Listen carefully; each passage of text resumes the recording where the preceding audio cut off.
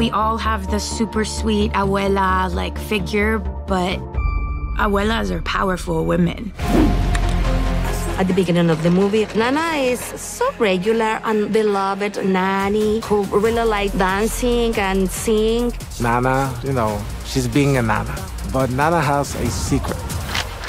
She's also a total badass. She knows how to use a weapon. What the hell? How do you know how to hold that so perfectly? You see Nana with the big ass gun, and you're like, this is her. Órale, mijo. She's a superhero too.